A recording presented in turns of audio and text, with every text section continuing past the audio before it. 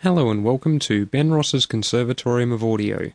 I'm Ben Rosser, and today we're going to be taking a look at Ableton Live 8's beat repeat effect. It's quite an interesting effect, can give you some rather interesting sounds, and for those of you who like that bit of glitchy sounding audio, you can get some great sounds out of it. So we're starting today with a live session which has a few different audio samples in it. These samples are the different elements of the beat we created in the Advanced Drums with Ableton Live 8 tutorial, which is now available on our website.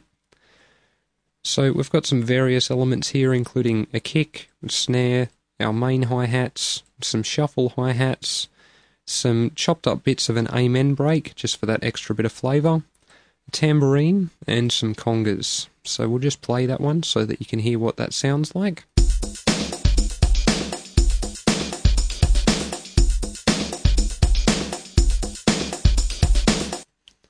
So, a bit of an interesting, fairly full beat there.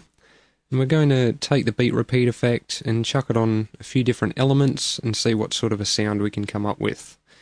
So, there's various different presets which are available with the beat repeat effect. We're actually going to start with the microfills preset. We're going to chuck that one on our snare drum to start off with. So, if we hit play on the snare, You can hear we're not getting very much at the moment, as there's a few things that we'll need to adjust in the preset in order to get the sort of sound that we're after. There's various controls available in the beat repeat effect. So starting on the left hand side, we've got our interval, which determines how often the beat repeat effect comes in. We've got our offset, which determines when it comes in relative to the start of the interval. We've got our grid, which determines how finely the audio is getting chopped up. We've got a variation control so that we can get different beat variations and different repeat variations in there. Down on the bottom left, we've got our chance control, which determines what chance the beat repeat effect has of coming in at its particular interval. A gate control to determine how long the beat repeat effect comes in for.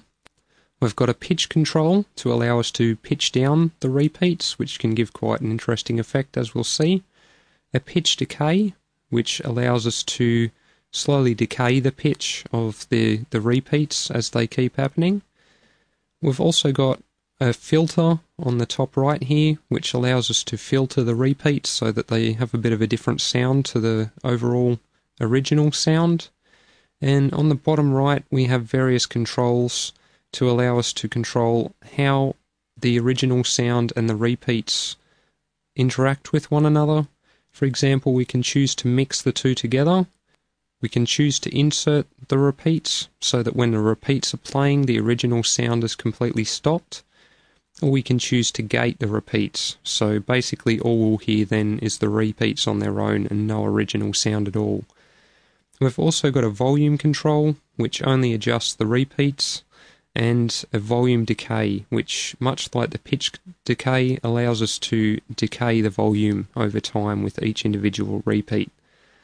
So, the first thing we're going to do so that we can get a bit of an effect on the snare is we're going to adjust our offset so that it's actually affecting the snare rather than not affecting anything at all.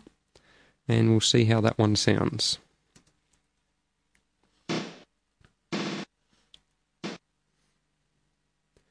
As you can see with the gate control turned on, all we're getting is just the repeats at the moment.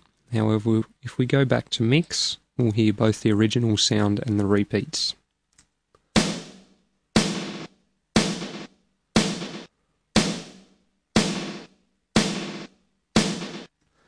As you can see, getting a, a bit of a glitch after the snare hit there. It's not affecting every snare hit as we've got the chance control set to 64.6% as you can see. If we turn that one up to 100%, as you'll see, it'll affect more of the, the snare hits.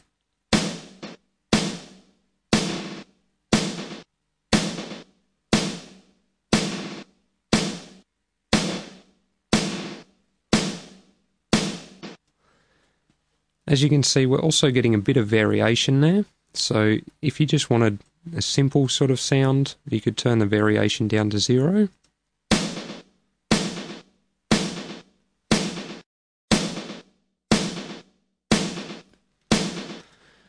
And as you can see, you can get the same type of repeat every time. However, we'll turn that one up a little bit so that we're getting some sort of variation in there, get a bit of a different sound. If you want a bit of a finer glitch happening, you can turn the grid down a little bit. And as you can see in the display at the top, the repeats are now chopped a bit more finely.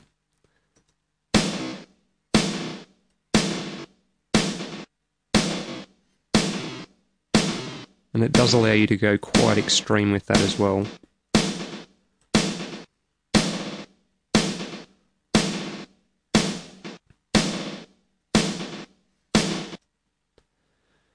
We've also got a couple of other controls, including a button we can push to keep the repeats happening continuously.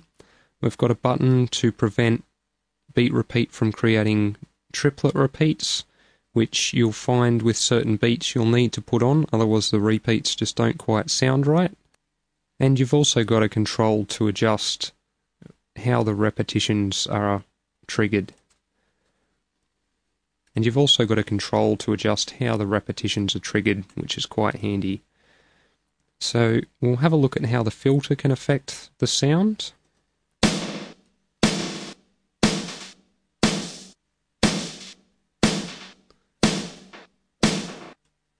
As you can see, you get all sorts of different characters. And that combined with the pitch control can give you some quite interesting sounds.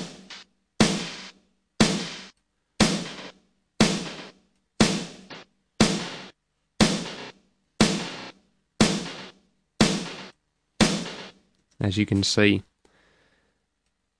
Our pitch decay control, as you can see, is turned up a little bit at the moment. If we turn that one up a bit further and bring our grid down a little bit,